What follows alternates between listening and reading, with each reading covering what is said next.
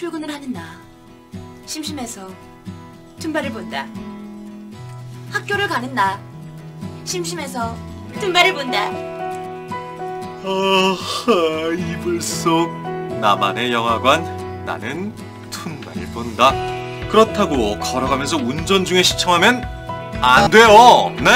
안 돼요 툰바는 너무 재밌으니까 안전한 곳에서 편안하게 즐기세요 웹툰을 좀 더 생동감 있게 보는 방법. 나는 웹툰을 재생한다.